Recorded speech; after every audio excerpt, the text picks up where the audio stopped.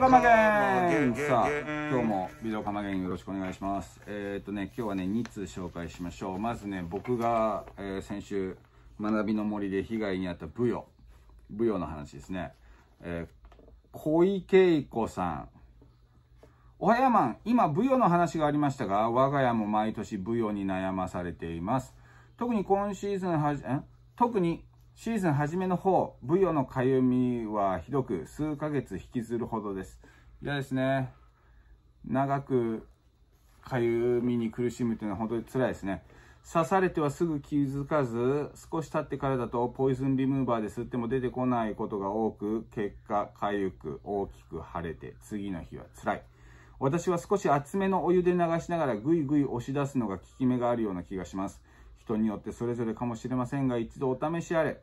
コロナに奔走されて、んコロナに翻弄されて、夏休みを満喫できていない子供たちに何かもらえたら嬉しいです。そうですね、あのー、僕もね、聞いたことありますね。えー、なんか魚のトゲに含まれてる毒とかの一一部でもね、そうだっていう話なんですけど、あの、熱いお湯をかけると、あの熱で分解されてっていうことでね60度ぐらいのお湯って聞きますよね。まあでもそれ熱いじゃない？やけどするじゃない？ほんと一瞬でもかけると、えー、マシだっていう話はね聞いたことはありますけどまあどっちにしてもねやっぱ刺されないのが一番ですよね。とはいえ刺されようと思って刺されたくないし刺されたらもうあやばいってなっちゃうんですよね。えー、僕はねあの市販の薬まあいろいろねあの効くステロイド成分があのある薬あるんですけど僕が使ってるのはフルコート F っていう軟膏タイプであのちょっと盛るように塗ってっていうのを、まあ、23日繰り返したらまあまあ色もね、えー、引いてきました、このままぶり返さずに治ってくれたらいいんですけどね、えー、まだこの刺された跡っていうのは残ってるしまあ、だいぶこう赤い斑点みたいなちょっと色は薄くはなってきたんですけど、まあ今治り中ってことですよね。で、もう1週間経ってるわけなんで、まあこれが、来週にはどのぐらい良くなってるかっていうところですけど、あの、前にね、ぬかかに刺されたこともありますし、あれほんと最悪ですよね。もう、舞踊大嫌いです。だいぶ外の天気も、台風っぽくちょっとね、どんどん下り坂になってきてますね。いや、舞踊気をつけてくださいね。やっぱ刺されないのが一番ですね。ハッカー油塗るといいっていう話ですけども、数時間おきにね、こう、どんどんどんどん塗った方がいいっていう話なんでね。油断大敵。気をつけましょう、舞踊。大豆大臣。えー、こちらね、えー、大豆大臣、毎週楽しく拝聴しております。ありがとうございます。アウトドアしたいなと思いつつ、なかなか行動できずな今日この頃。今日は珍しく真面目に体調に質問があります。それは、シャンス、サンシェード、タープなどの張り具合についてです。先日、ウッドバルコニーにサンシェード、サンシェード、ああいうオーニングみたいなやつかしらね、えー、を設置したのですが、いかんせん風の強いところでして、バタバタバタといつ飛んでってしまうか。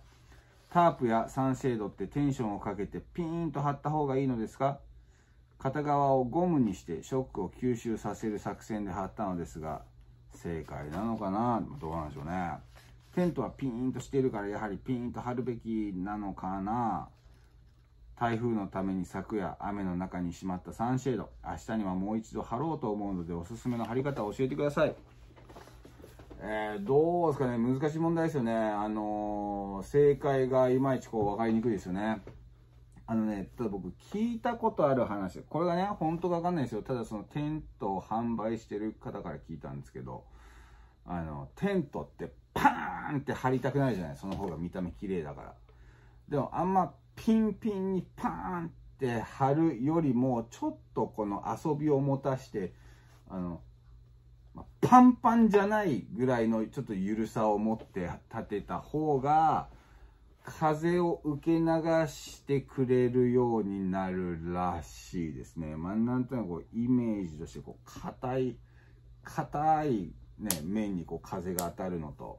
こうちょっとこう柔らかい面に風当たるのってなんか柔らかい面の方がこう風を受け流してくれそうな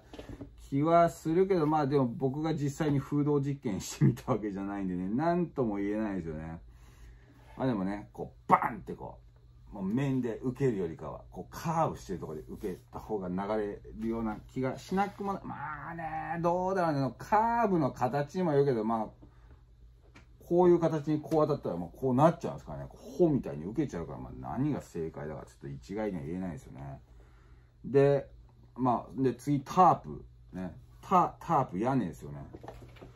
どうなんだろうね。パーンって張った方がそれはかっこいいんだけど。その風のバタバタをどれだけ軽減できるかっていうと。まあ、緩く張ったらバタバタはやっぱバタバタしますよね。で、ピンと張ってもまあバタバタするだろうけど、ね、ピンと張れば張るほどペグ抜けちゃうっていう可能性もあるしこの辺はもうちょっと実験してみないと分かんないですよねタープの張り具合いや難しいねただあの雨雨降った時にタープタープこうね雨溜まっちゃいますからあれをこう下からドーンとこう棒とかでこう突き上げたりしながらねまあ手とかでもいいんですけどねザバーって水かぶっちゃう最悪ですけどねあのハープの張り具合、風を受け流すためにはピンと張った方がいいのか、緩く張った方がいいのかとかって、そんなん聞いたことあります？ないっすね。僕ないんですよね。だからこれはちょっとまあ、トライアンドエラーでやってもらった方が。張ると、うん、なんか、耐久力低そうな感じますよね。どうなんなんかポールが外れて飛んでっちゃいそうみたいな。うん、その、だからタープってそのメインポールメインポールのこの2本と地面はそこはピンって張らないと固定できないですから、ここはまあ、ね、ここはバーンと張るんですけど、横、この屋根のこの部分はちょっと緩めに張るとこう、こうたわむし、だからまあバタバタするし、ピンと、これはね、もう実験してみないとわかんないね。あんま強いと正直張っちゃダメだよね。風がね。風がね。風が強い時はねやっぱしまうべきなんですね。ね、うん、だからこの大財神さんのサンシェードをねウッドバルコニーに設置したけど、うん、っていうことなんで、まあ、こう形にもよるし風向きにもよるしちょっとね答えづらいけれどもね。大豆大臣さんいろいろ実験してちょっとぜひとも実験結果自由研究提出お願いしたいと思います。でもこんな台風の日はね張らないのが一番ですわ。なので台風の日のキャンプはやめておいた方がいいと思います、ね、ということでビデオカマゲンでした。登山やる人たちはねほんと風に強い小さいテントを使ってねなんとか命をしのぐっていうやり方してますんで。そういうのも参考にしてみるともいいかもしれませんね。また来週。バイバイ。